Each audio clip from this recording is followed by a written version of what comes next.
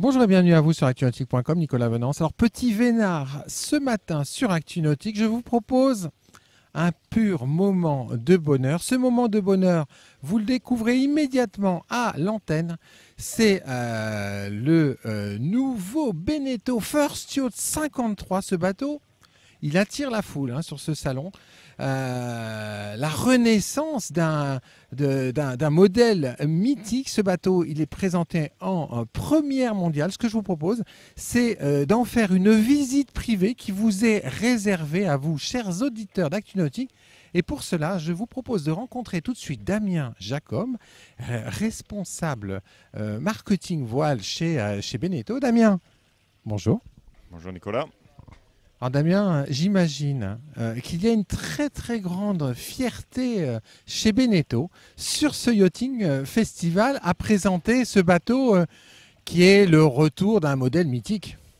Tout à fait, une très grande fierté. La, gamme First, c'est la gamme légendaire de la marque Beneteau. Ça a marqué les, plus belles pages de la, marque. Ça elle a été créée à la fin des années 70, donc plus de 40 ans qu'elle existe. Euh, on a les bateaux, les First ont été présents sur de nombreuses régates dans les années 90, euh, début des années 2000, euh, de très nombreux succès tout autour du monde. Et donc revenir avec un, First, c'est toujours un peu d'émotion pour la marque, pour les personnes qui y travaillent. Et on est très fiers de pouvoir vous montrer à Cannes cette année le First Yacht 53. Alors, alors on, va, on va jeter un coup d'œil sur ce bateau. Damien, euh, d'abord, ce bateau, il fait le buzz, hein, parce que tout le monde le regarde et l'admire.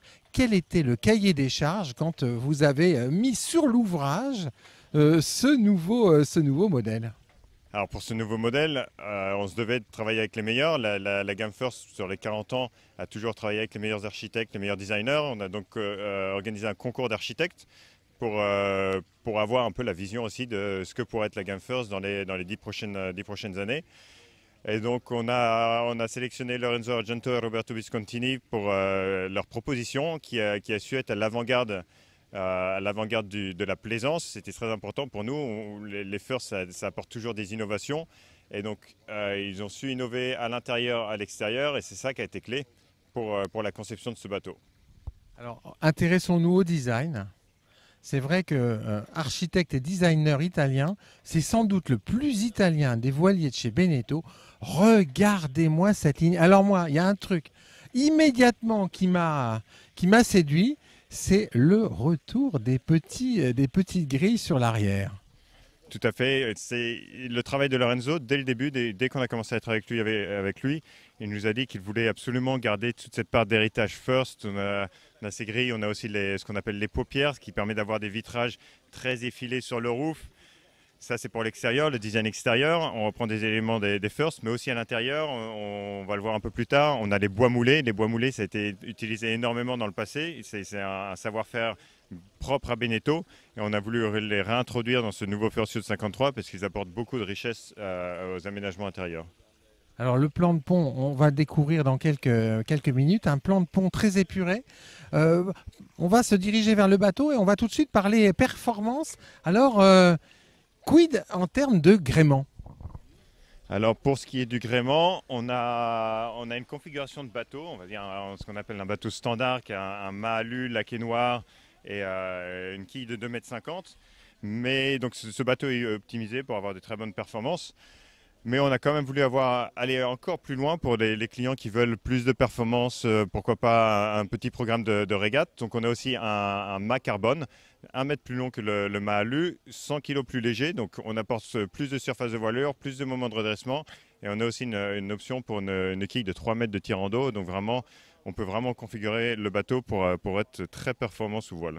Quelle surface de toile maxi au près On est de l'ordre de 170 mètres carrés Première performance euh, à, la barre? C'est une barre. Euh, alors ça, c'est l'expertise de Roberto Biscontini qui, est mise en valeur ici. Roberto Biscontini, c'est plus de 20 ans d'expérience dans l'univers exigeant de l'America's Cup.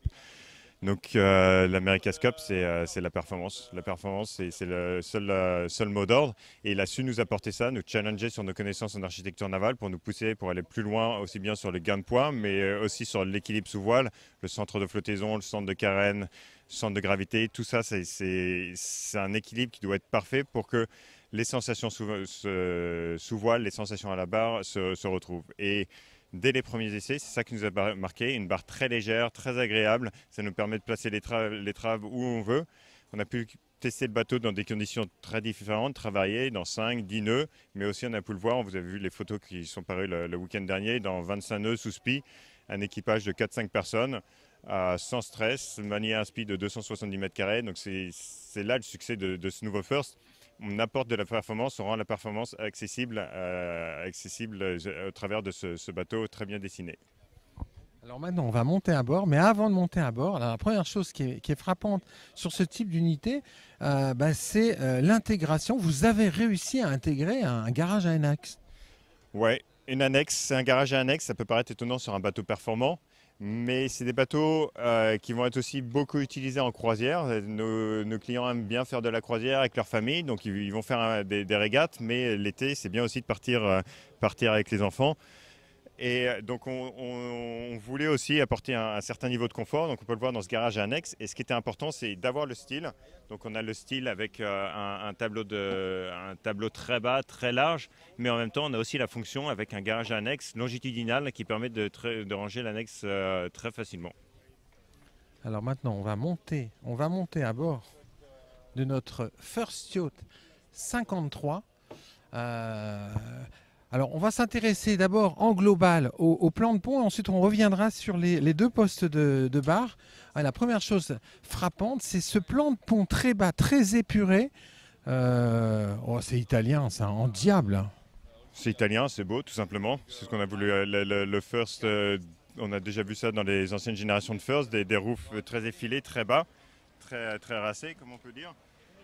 Et la particularité ici, on parlait du confort, des bateaux qui sont aussi utilisés en croisière, donc on n'a plus de winch sur le, sur le roof, tout est ramené à l'arrière, mais on a un espace entre le poste de bar et les winches qui permet d'avoir 2-3 personnes qui vont manœuvrer le bateau, s'amuser à faire avancer le bateau vite, et en avant, on va avoir le, reste de la famille, le reste des amis qui, profitent, euh, qui profitent de la croisière.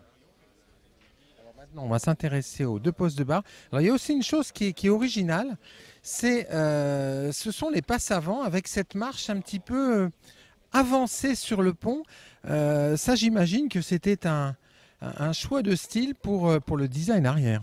Alors ça, c'est une des innovations de, Lorenzo Argento. Au lieu d'amener les passes avant jusqu'au tableau arrière, il a voulu créer quelque chose de différent. En arrêtant les passes avant un petit peu plus tôt, ça dégage un tableau arrière très large, très élégant. Et en même temps, euh, l'autre bénéfice, c'est une circulation très aisée autour du barreur. Donc on peut passer autour du barreur, aller sur le passe avant et euh, jusqu'à la plage avant sans gêner personne. Alors un petit détail sur ce banc.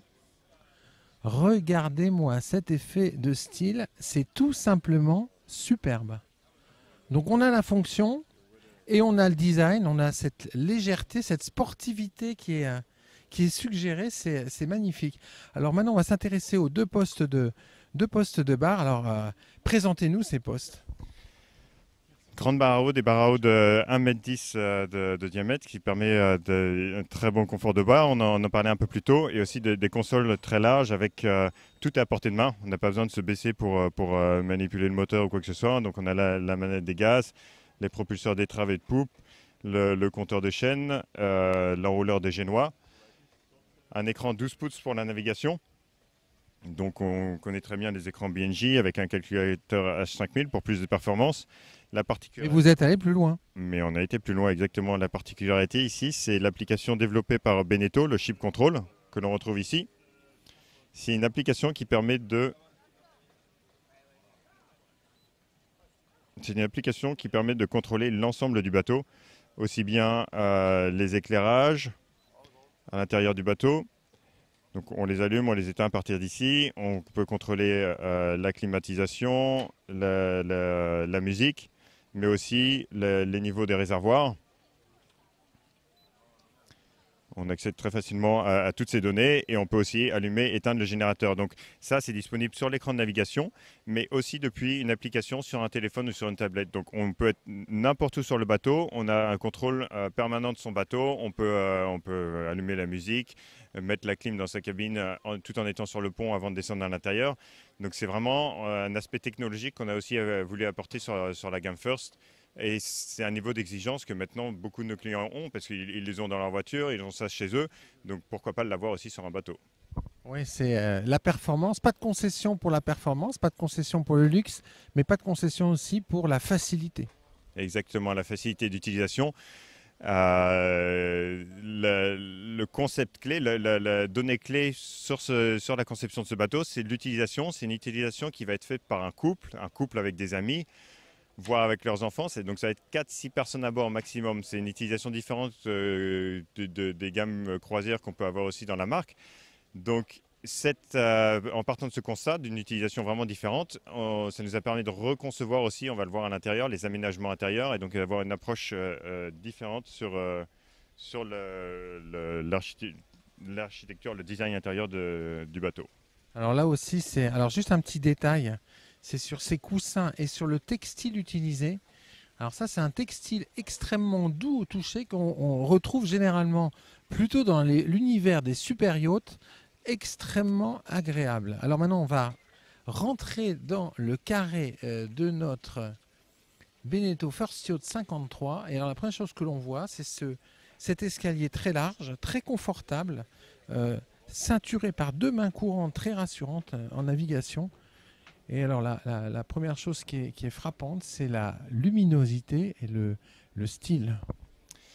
Exactement. Alors, on, le, le retrouve ici. le l'innovation. Le, concept clé de l'intérieur, c'est ce qu'on peut voir sur, euh, tribord.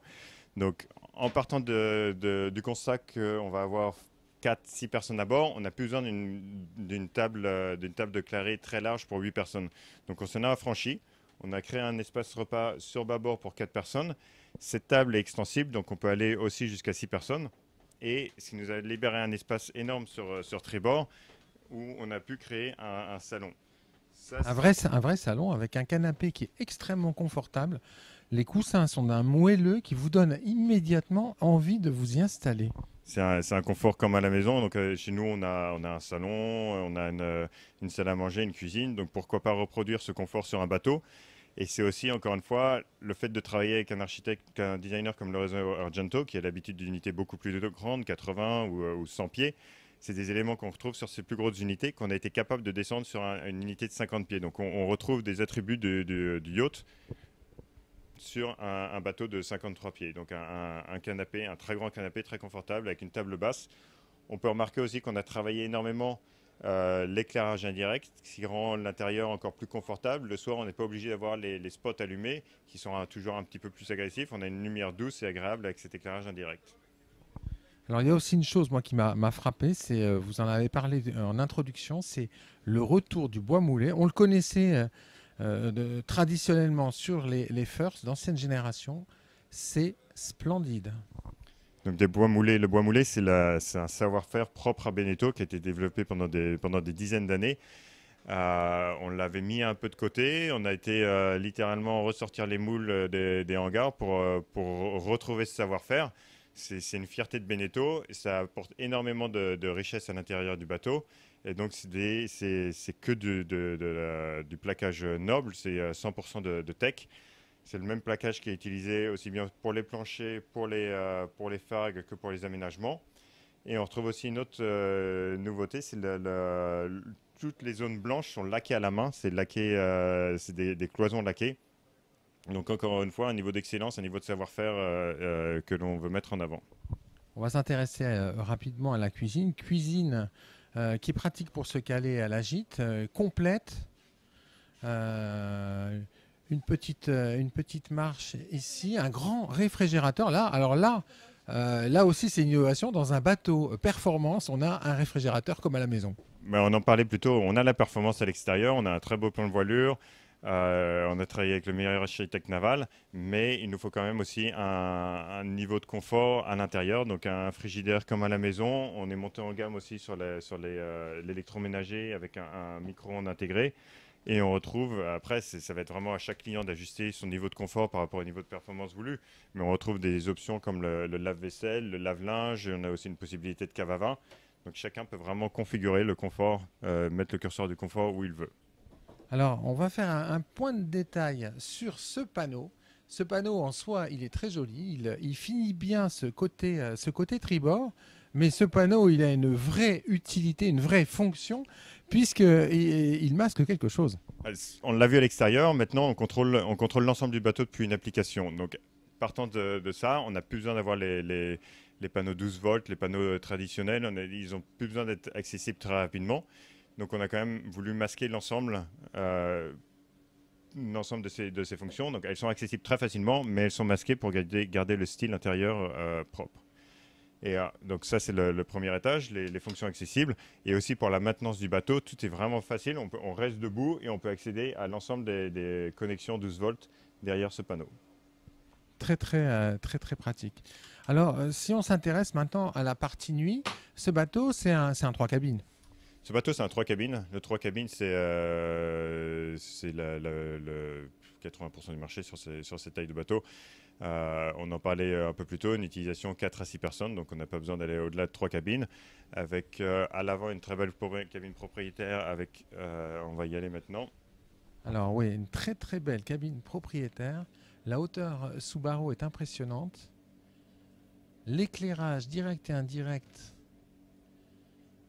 permet de proposer une cabine extrêmement lumineuse, beaucoup de rangements et, surtout euh, euh, un coin toilette et un coin douche totalement séparés et qui, dont la finition en fait est, à l'égal de la finition du carré. Donc une très belle qualité de présentation. Vous allez voir la douche. C'est pareil, c'est la douche XXL